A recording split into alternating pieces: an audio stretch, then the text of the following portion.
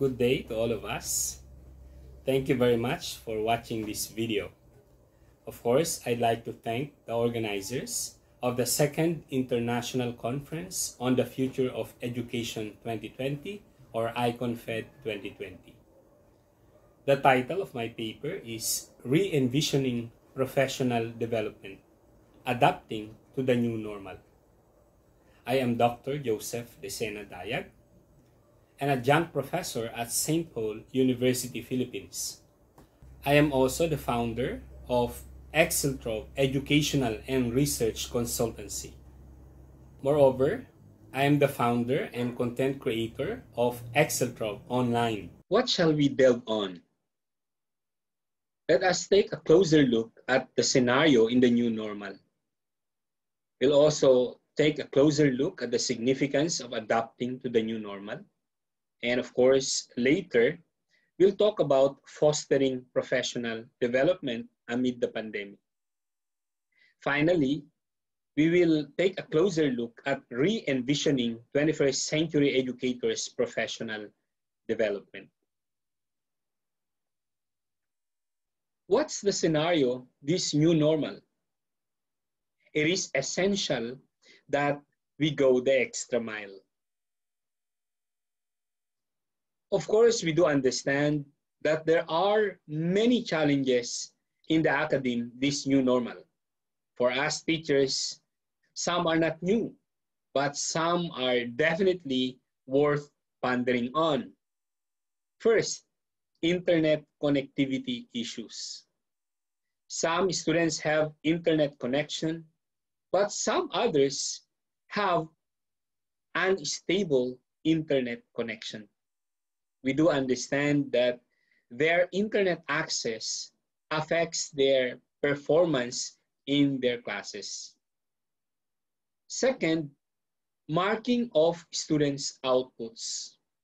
It's a challenge for us teachers to mark bulky outputs from our students. Of course, this challenge can be overcome.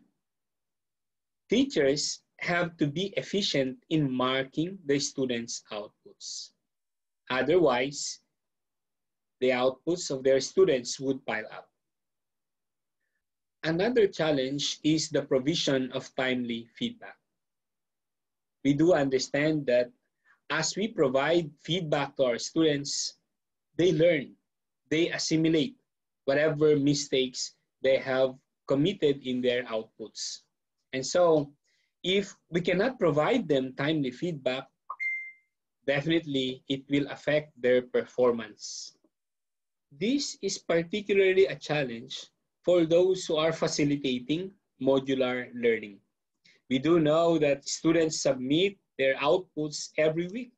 And so if teachers are not that efficient, then the outputs of the students pile up and definitely the feedback written on the outputs of the students would be futile later on if the feedback are not timely.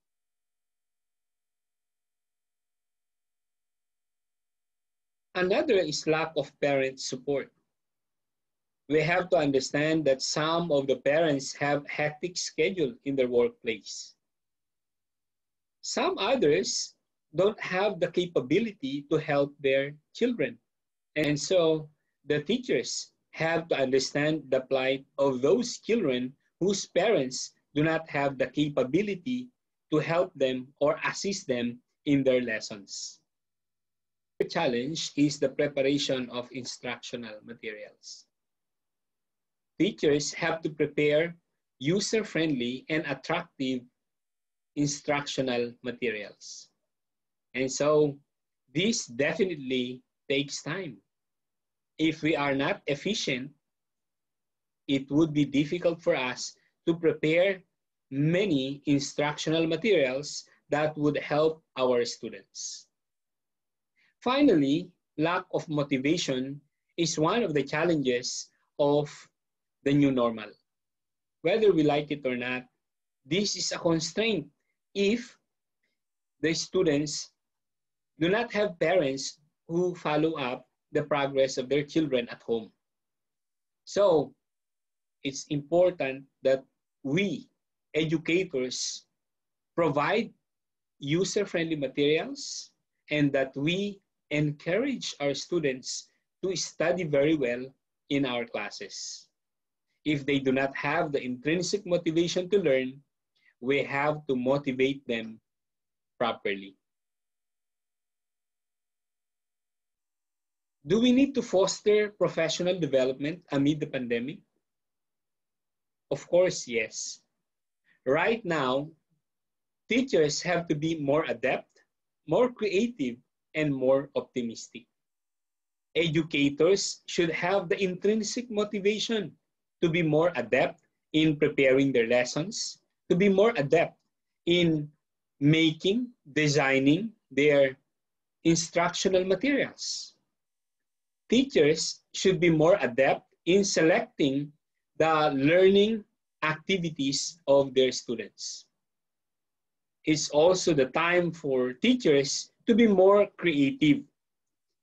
As, of course, modular learning is used or blended learning is applied, definitely teachers have to be creative in selecting the performance task to be given to the students. They have to be more creative in providing assessment to their students. They also need to be more creative in encouraging their students to give their best in their classes. Educators need to be more optimistic this new normal. Knowing that there are many challenges in the academy, especially on the part of the students. In the new normal, teachers have to be more optimistic. Whether we like it or not, the attitude of the teacher affects the attitude of the students. And so if the teacher always looks at the brighter side of this current scenario, then the students would in due time gradually be affected and they'll also be encouraged to look at the brighter side of this pandemic. In this presentation, I contend that professional development may be re-envisioned. There are five ways to achieve professional development in the new normal. I believe that teachers have to be intrinsically motivated in order to advance professionally this new normal. If they want to thrive and continually touch lives, they have to do these activities. First, reading journal articles. When teachers read journal articles, they learn new trends, new findings that may impact their beliefs, their understanding of their subject matters. As they deepen their knowledge on their subject matter, they become better in terms of delivering their lessons. Second is watching informative videos. Of course, this is probably the easiest because while teachers relax, they can just watch informative videos on YouTube, for example. As teachers watch videos, they synthesize everything that they watch as they select wisely the videos that may help them advance professionally. As they do so, their readings and prior knowledge are also reconsidered and associated with what they are currently assimilating. Another is attending formal professional development sessions. Right now, of course, teachers are not encouraged to attend conferences on site.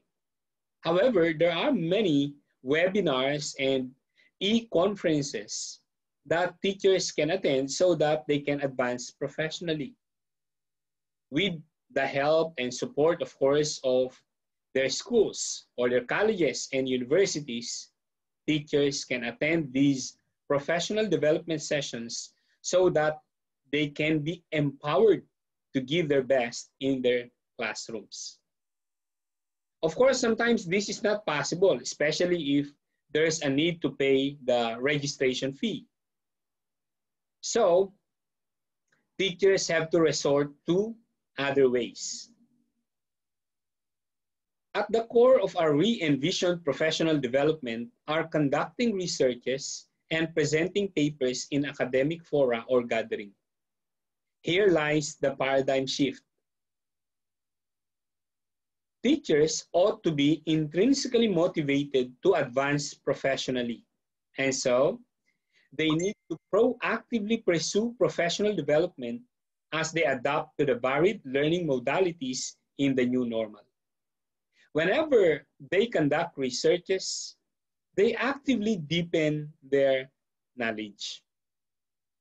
They create knowledge actively. Whenever they present papers in webinars and e-conferences, they share their best practices and professional insights. Of course, we do understand that all of us educators can do this, provided that we are intrinsically motivated. All of us educators can conduct researches, presenting papers in academic fora. Definitely, we can do it if we have the intrinsic motivation. There are many calls for paper presentations and we just need to submit proposals that later may be considered by the organizers and that would allow us present our papers. This is very important because when we present papers, we revisit what we have learned earlier.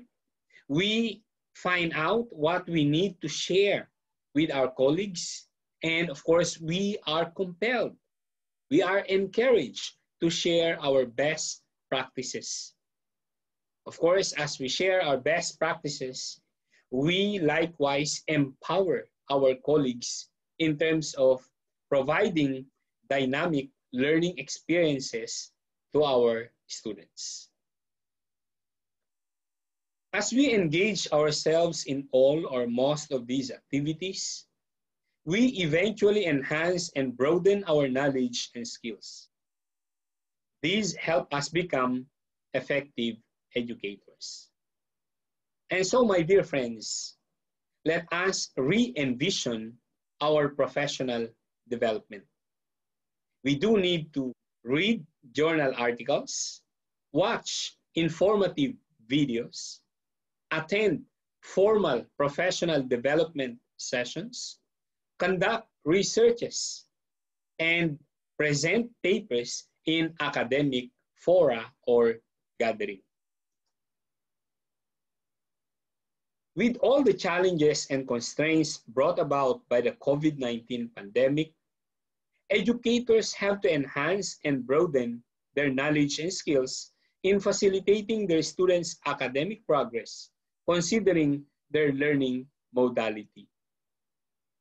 In summary, we have to bear in mind, my dear friends, fellow educators, that we ought to have the intrinsic motivation to achieve our professional development if we intend to thrive in the academy and eventually touch the lives of our students. If you have queries, suggestions, and points for clarifications, please feel free to comment below. And if you like to connect with me on LinkedIn, please see my name on LinkedIn, Joseph D. Dayag, PhD. You may also check our videos on Exceltrove online. Thank you very much for watching this video. Thank you very much to all the organizers of IconFed 2020.